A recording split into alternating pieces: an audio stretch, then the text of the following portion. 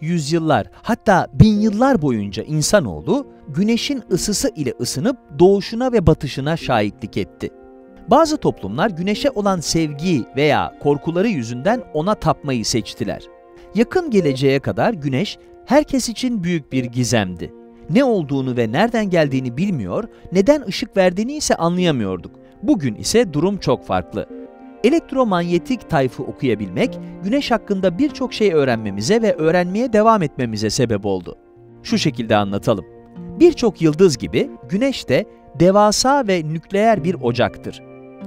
Çekirdeğindeki muazzam yerçekimi basıncı nükleer füzyon reaksiyonları ile hidrojeni helyuma dönüştürür.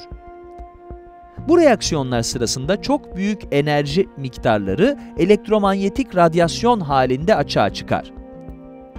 Güneş çok büyük ve yoğun olduğu için bu enerjiyi taşıyan ve foton adı verilen parçacıkların güneşin yüzeyine ulaşması binlerce yıl sürebilirken, serbest kalan parçacıkların dünyaya olan yolculuğu ise sadece 8,5 dakikadır. Güneşin enerjisini taşıyan fotonlar dalgalar halinde yol alırlar.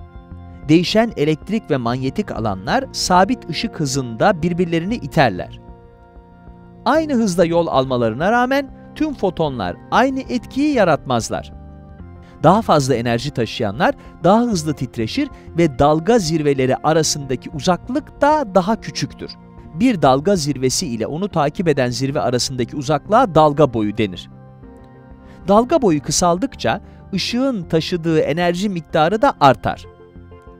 Olası tüm dalga boylarının aralığı elektromanyetik tayf olarak adlandırılır. Güneş her saniye düşük enerjili radyo dalgaları ve mikrodalgalardan yüksek enerjili X ve gamma ışınlarına kadar elektromanyetik tayfın değişik bir bölümüne ait ışık yaymaktadır. İnsan gözünün tayfın sadece küçük bir bölümüne yani görülebilir ışık aralığına göre ayarlı olması ortaya küçük bir sorun çıkarıyor.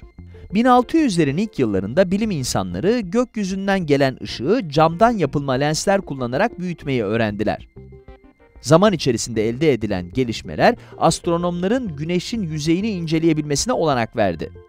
Yine de kullandığımız teleskop ne kadar büyük olursa olsun görünebilir ışığın bize katabilecekleri ne yazık ki çok sınırlı.